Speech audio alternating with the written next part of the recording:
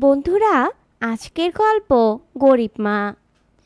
ইস আমি তো পাঁচটা ফুলের মালা গেঁথে ফেলেছি। মা এসে দেখলে অনেক খুশি হবে। আর এই মালার ফুলগুলোও দেখতে কি সুন্দর।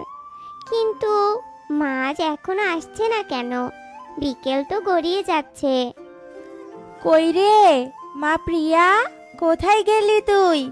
দেখ আমি এসেছি। এই যে মা, আমি এখানেই আছি। আমি তো তোমার আসার অপেক্ষাই করছিলাম। মা, দেখো, আমি আজ পটলি দাদুদের বাগান থেকে কত ফুল কুড়িয়ে এনেছি। আর দেখো, এগুলো দিয়ে আমি পাঁচটা মালা গেঁথেছি। ওরে আমার লক্ষ্মী মেয়ে রে, কত কষ্ট করেছে আমার মেয়েটা। তোকে এত কষ্ট করতে হবে না মা, আমি তো আছি। চল দেখি এখন ঘরে চল। এই মালাগুলো আমি কাল বিক্রি করব। ঠিক আছে মা। আচ্ছা মা আজ তুমি খাওয়ার জন্য কি নিয়ে এসেছ? ও মা শোনো না। আমায় তুমি লুচি আর ফুলকপির ঝোল রেঁধে খাওয়াবে? কাল না টুনি আমায় দেখিয়ে দেখিয়ে লুচি খেয়েছে। আমার খেতে খুব ইচ্ছে করছিল কিন্তু ও তো আমায় একটুও দেয়নি মা। আহারে আমার সোনা মেয়ে, তুই কোনো চিন্তা করিস না মা। আমি কাল বেশি কাজ করব। আর ওই টাকা দিয়ে তোকে লুচি আর ফুলকপির তরকারি রেঁধে খাওয়াবো। আজ রুটি নিয়ে এসেছি। চল মা, আজ কষ্ট করে ওগুলোই খেয়ে নে। এই বলে কবিতা প্রিয়াকে নিয়ে ঘরে যায়। আর দুই মা মেয়েতে মিলে শুকনো রুটি খেতে থাকে। কবিতা তার মেয়ে প্রিয়াকে নিয়ে পাতাঝরা গ্রামে থাকতো। কবিতার স্বামী মারা গেছে প্রায় দু বছর হলো।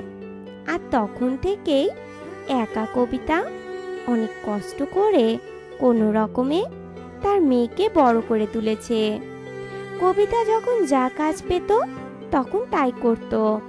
কখনো অন্যের বাড়িতে কাজ করত কখনো বা ফুল বিক্রি করত, আবার কখনো কখনো অন্যের দোকানে কাজ করত।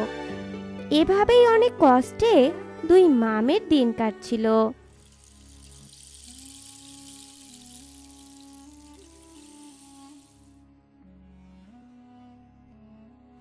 কি রে মা? কি হয়েছে তোর? এভাবে মন খারাপ করে ঘরে বসে আছিস কেন?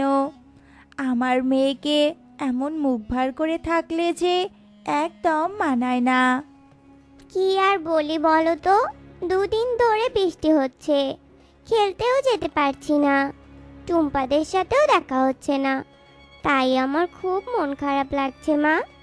আচ্ছা মা এই বৃষ্টি থামবে কখন গো? জানি না রে মা। বর্ষাকাল আসলেই যে এমন হয়। একবার বৃষ্টি শুরু হলে তা থামার নামই নেই। এখন তো বর্ষাকাল। এই বৃষ্টির জন্য যে বাইরেও যেতে পারছি না। আর কোনো কাজও করতে পারছি না।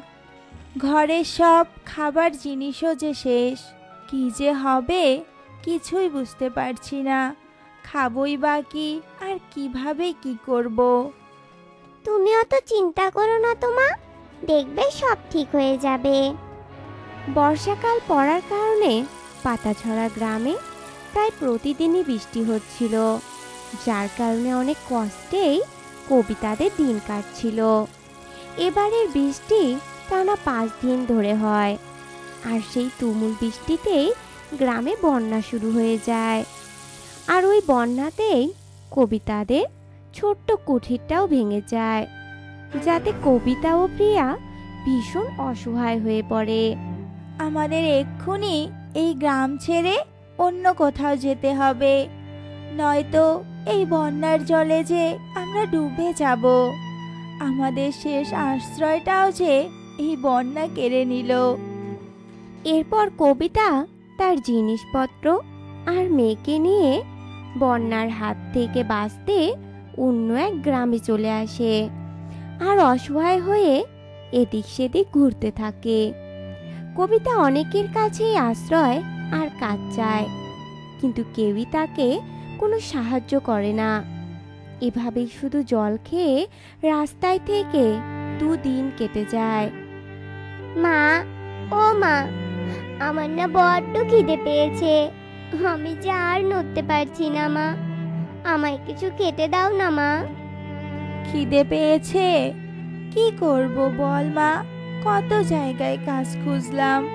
কেউ যে কাজ দিল না, কোনো সাহায্যও যে করল না। ওই দেখ মা, সামনে একটা বড় বাড়ি দেখতে পাচ্ছি। চল, দেখি ওখানে গিয়ে একবার কাজ চাই। যদি কোনো কাজ পাই। এরপর কবিতা তার মেয়েকে নিয়ে একটা বড় বাড়িতে যায়। যে বাড়ির মালকিন ছিলেন সুষমা দেবী। কবিতা সুষমার কাছে গিয়ে কাজ চায় কিন্তু সুষমা প্রথমে কবিতাকে কাজ দিতে রাজি হয় না। পরে কবিতা সুষমার কাছে অনেক কাকুতি মিনতি করে। কবিতার এমন কাকুতি মিনতি দেখে সুষমা মনে মনে ভাবতে থাকে, আমি বরং ওই মহিলাকে এখানে কাজে নেই। অনেক গরিব বলে মনে হয়। আমি একে দিয়ে বাড়ির সমস্ত কাজ করিয়ে নেব। আচ্ছা শোন আমি তোকে এখানে কাজ দেব। আজ থেকে বাড়ির সমস্ত কাজ করবি তুই আর বাথরুমে থাকবি। ঘরে কোনো জায়গা নেই তোদের। ইচ্ছা হলে থাকবি আর না হলে থাকবি না। অসহায় কবিতা, একটু খাবার আর আশ্রয়ের জন্য সুষমার কথায় রাজি হয়। এরপর থেকে কবিতা তার মেয়েকে নিয়ে সুষমাদের বাথরুমেই থাকতো আর বাড়ির সমস্ত কাজ করত। আচ্ছা মা, মালকিনদের তো এত বড় বাড়ি। তবুও আমাদের এরকম একটা বাথরুমে থাকতে দিল কেন? আমার এখানে থাকতে একদম ভালো লাগে না, মা। ছি মা, এসব বলতে নেই। আমরা যে গরিব রে, মা। আমাদের জায়গা বড় লোকদের বাথরুমেই। আর দেখ মা এই বাথরুমটা অনেক বড়। একদম আমাদের ওই কুঠিরের মতো। এখানে থাকতে পাচ্ছি খেতে পাচ্ছি এটাই যে অনেক রে মা। কবিতাদের বাথরুমে থাকতে অনেক কষ্ট হলেও তারা সেখানেই কোনো রকম তাদের দিন কাটাচ্ছিল। একদিন সুষমা দেবী তার মেয়ে কলিকে বাড়িতে রেখে বেড়াতে যায়। আর কলি একাই বাড়িতে খেলা করছিল। খেলতে খেলতে হঠাৎই কলি পা পিছলে মেঝেতে পড়ে যায়। আর তার মাথা ফেটে অনেক রক্ত ঝরতে থাকে। তখনই সেখানে কবিতা আসে। এ কি, ছোট মালকিন এখানে পড়ে গেলেন কি করে? ইস, কত রক্ত ঝরছে মাথা থেকে। বড় মেম সাহেবও তো বাড়িতে নেই, কি করি এখন আমি? এরপর কবিতা কোনো উপায় না পেয়ে নিজেই কলিকে নিয়ে হাসপাতালে যায়। আর সুষমাও তার মেয়ের কথা শুনে হাসপাতালে যায়। ডাক্তার ম্যাডাম আমার মেয়ে কেমন আছে এখন? ও ভালো আছে তো? যত টাকা লাগে নিন তবু আমার মেয়েকে ভালো করে দিন আপনি। অস্থির হবেন না আপনি। আপনার মেয়ে এখন একদম সুস্থ আছে ঘুমোচ্ছে। তবে হ্যাঁ আপনার মেয়েকে এখানে আনতে যদি আর একটু দেরি হতো আর উনি যদি ঠিক সময় রক্ত না দিতেন তবে সর্বনাশ হয়ে যেত।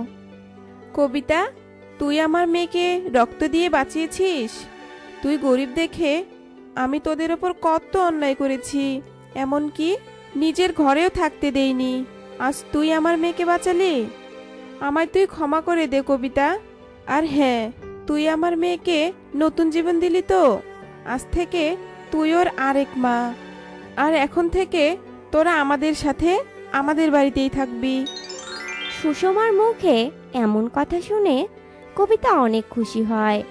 এরপর থেকে কবিতা সুষমাদের সাথেই ভালোভাবে তাদের দিন কাটাতো।